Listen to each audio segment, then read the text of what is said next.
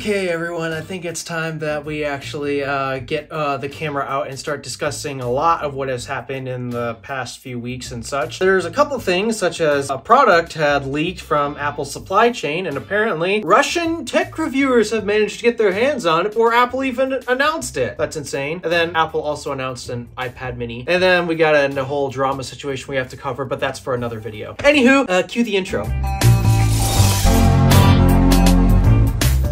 Once again, I'm behind on the news, and that's unfortunately because I am always a, an extremely busy person who never has enough time and or energy at the same time to be able to just pull out their camera and start discussing the news. Now, I happen to have both of those things, so let's do it. First up, I want to talk about the whole MacBook leak. You guys remember what happened to the whole iPhone 4 uh, leaking at a bar or something like that? A random Apple employee just accidentally left the next generation of iPhone at a bar. Yeah, that was really embarrassing. Pretty sure somebody got fired the next day. Well, as it turns out, there's now a way worse leak that even tops that. Now, albeit, this product probably isn't as interesting as the iPhone 4 was at the time. It's uh, another MacBook with another M chip upgrade. Wow, really exciting. It's like, yeah, of course, uh, we're getting a refreshed MacBook with a refreshed chip. So is there really anything to be excited about when compared to the iPhone 4, brand new redesign, brand new custom silicon, because that was when I believe Apple had switched from Motorola chips to their own custom silicon. Yeah, iPhone 4 was a really big, really hyped product, and yeah, accidentally leaving it at a bar, that was a pretty bad look for Apple. But now, basically, everybody knows everything about these brand new MacBook Pros, and nobody really cares about that, if I'm being honest. If you're still one of those weirdos who haven't actually upgraded to Apple Silicon yet, why? You guys are fully aware how much better Apple Silicon truly is, right? Yeah, if you haven't done it just yet, I don't know, you might want to do it now. These people are probably going to be the only people who actually care about uh, the next generation MacBook, you know, the, the MacBook with M4 silicon and such. But apparently, uh, Russian tech reviewers somehow managed to get their hands on this product like a few weeks to a month before Apple even announced the October event, if we even are getting an October event this year, which, hey, it's currently October 17th as I recorded this, and uh, that means we're over halfway through October and we still haven't gotten an event announced. Hopefully it doesn't happen while I'm on vacation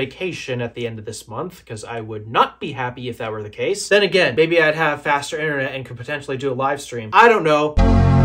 But yeah, Russian tech reviewers already got their hands on it. They've already made their unboxing videos and even worse to what Apple's probably not wanting to hear, they even benchmarked the M4 MacBook Pros. Yep, they've already run the benchmarks. They've already done, did their performance testing. So now at this point, I guess Apple doesn't really have anything to talk about should they launch the M4 MacBook Pros because we all basically know everything about them at this point. Unless Apple decides to quickly do some re-engineering and quick timeline supply chain machining magic and just happen to make some slight changes so that way they can just try to prove that all of these Russian YouTubers got fake M4 MacBook Pros or something along the lines. Who knows if Apple were to do that or not? I mean, I know they're the type of company to really get on a massive leak like this and they probably would change a product just for the sake of trolling. I, I'm sure that they do something like this before. It wouldn't be the first time. But yeah, that now makes me wonder, are we going to have an October event? Especially because just uh, a couple days ago, actually, we got a site refresh and we got a new iPad mini, which I'm not saying it's a bad thing we got a new iPad mini. Honestly, the iPad mini was a tad overdue for a refresh, if I was being honest, but got updated silicon, updated storage as well. Finally upped it from uh, 64 to 128 gigs of storage. Seriously, 64 gigs in a tablet today is kind of not all that great. So yeah, they pretty much just refreshed the iPad mini enough to bring it up to today's modern standards because last time they had uh, uh, refreshed it, it was like, what, 2021?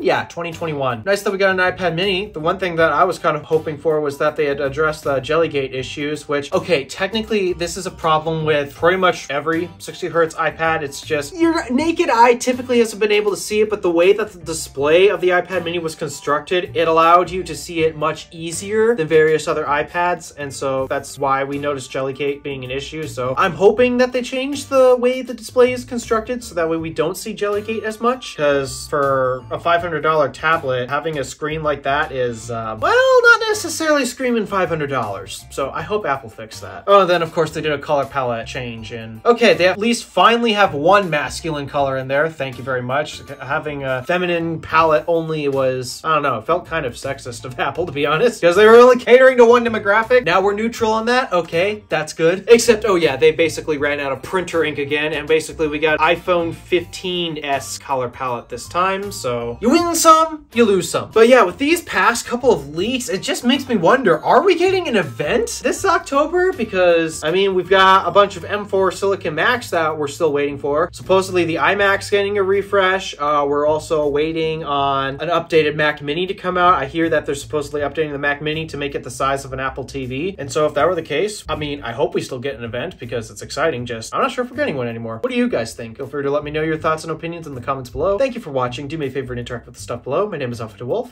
Random Alpha, signing out.